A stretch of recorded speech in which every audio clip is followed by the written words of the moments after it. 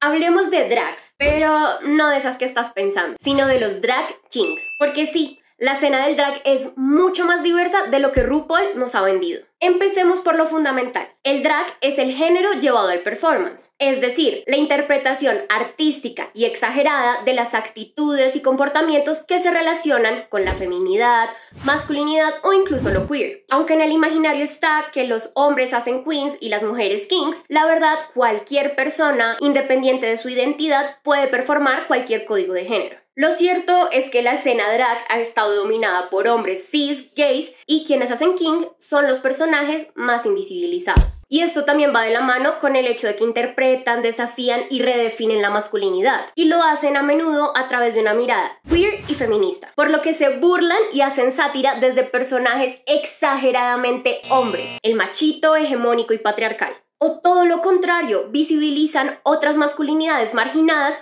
o juegan con lo andrógino o la fluidez del género. Y si de por sí el drag es político, que te digan que la hombría o la virilidad es algo que cualquiera puede ponerse y parodiar, pues ajá, justo en el patriarcado. Esto es por lo que los drag kings son básicamente una contracultura dentro de una contracultura. Aunque el drag king ahora lo hacen mujeres, hombres o personas no binarias, su origen viene del travestismo femenino en el teatro o de las mujeres que querían hacer cosas de hombres y se vestían para ello. De hecho, hay registros del origen de estos imitadores masculinos que se remontan a la dinastía Tang en China entre los años 618 al 907. Pero para no irnos tan atrás, a mediados y finales de 1800, pioneras del drag king como Annie Hindle, Vesta Kidley y Ella Wesner comenzaron a actuar en Estados Unidos. Durante el siglo XX, artistas como Gladys Bentley y Stormy de la Verrier empezaron a consolidar una escena king. Es más, de la Verrier, quien fue conocida como la guardiana de las lesbianas, fue uno de los kings más importantes del cabaret drag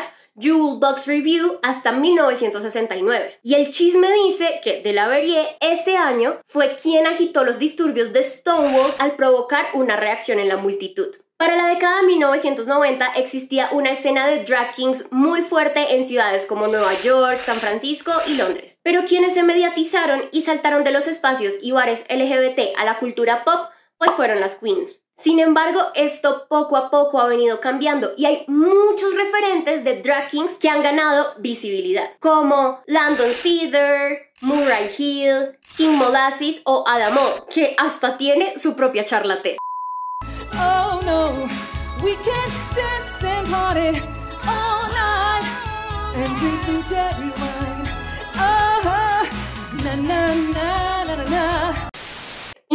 Recientemente Victoria Scone, quien es la primera mujer cis en competir en una de las franquicias de RuPaul's Drag Race, también desafió la regla de que solo pueden participar queens y se presentó como Fabio o Victoria Stone, siendo el primer drag king en la historia del universo Drag Race. Ah, y de paso ganó. Pero bueno, se estarán preguntando en Colombia dónde están los drag kings. Son difíciles no imposibles de encontrar. Antoine de Toulouse es el pionero aquí en el país. Judy, quien está detrás de este personaje, es una de las fundadoras de la mesa LGBT de la localidad de Suba y siempre tiene un mensaje político por los derechos sexuales y reproductivos y la comunidad LGBTIQ+.